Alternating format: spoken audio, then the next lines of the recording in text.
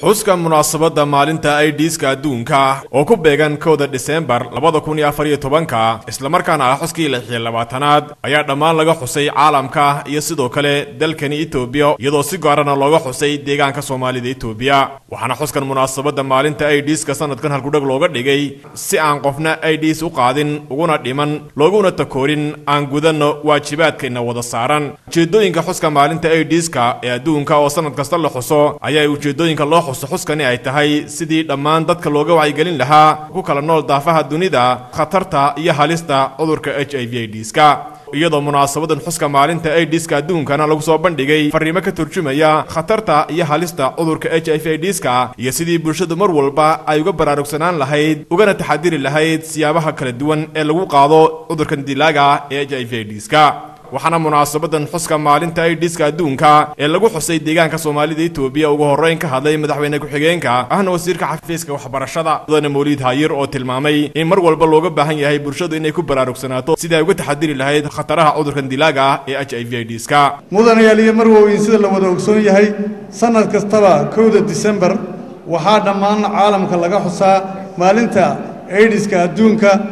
haddaba maanta oo ay taariikhdu tahay kowda disembar laba kun iyo afar iyo toban ayaa xuskii lix iyo labaatanaad ee maalinta h i v aidiska adduunka dhammaan dalalka kala duwan ee adduunka laga xusayaa guud ahaanna dalkeenna etoobiyana si gaara iyadana looga xusayaa ujeeddada sannad kasta xuskan loo qabto waa si shacabweynaha kala duwan ee ku nool qaybaha kala duwan ee adduunyada loogu baraarujiyo khartarta ay leedahay iyo faafitaanka cudurka h i v aidiska uu is leeyahay isla markaana bulshada lagu wacyigeliyo oo faham buuxa laga siiyo cudurka h i v aidiska isla markaana lala socodsiiyo xakamaynta cudurka h i v aidisku inay tahay mid xil gaara way naga saaran yahay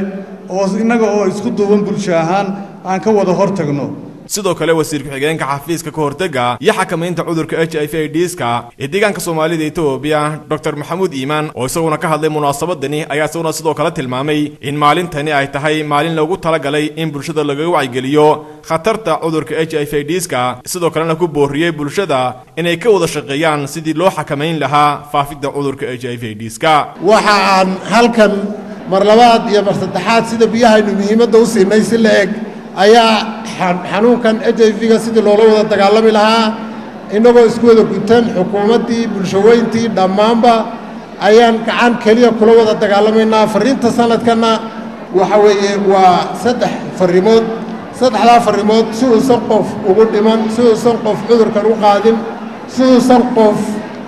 loo takoorin munaasabadan lagu maamuusayey maalinta aidiska adduunka ee lagu qabtay xarunta deegaanka soomaalida etoobiya ee magaaladani jigjiga oo ay ka soo qayb galeen mas'uuliyiin dhallinyaro culamaauddiin iyo sidoo kale bulshada qaybaheeda kala duwani. Ayay kooxaha fanka ee deegaanku ay ku soo bandhigayeen wacyigelin ku saabsanayd sidii looga taxadiri lahaa khatarta cudurkan dilaaga ee h i v aidiska cudurkan dilaaga ee h i v aidiska ayaan ilaa iyo hadda lahayn daawo iyadoo siyaabaha laga hortegi kara cudurkani ay tahay in mar walba lamaanuhu ay isku ekaadaan iyo sidoo kale in mar walba bulshadu ay ka taxadirto siyaabaha kala duwan ee lagu qaado cudurkan dilaaga ee h i v aidiska waxaana xasuus mudan in cudurka dilaaga ee h i v aidiska sannadkii kun sagaal boqol siddeetan iyo afartii laga helay dalkani etoobiya deegaanka shucuubta koonfureed iyadoo intaasi wixii ka dambeeyeyna dadaallo xoogan loo galay sidii loo xakamayn lahaa faafidda cudurka h i v aidiska bulshadana la siiyo wacyigelin kala duwan oo ku qotoma khatarta cudurka h i v دوني دقا عواتيو فيتوريا برفصور عيدنا دوالي سهري.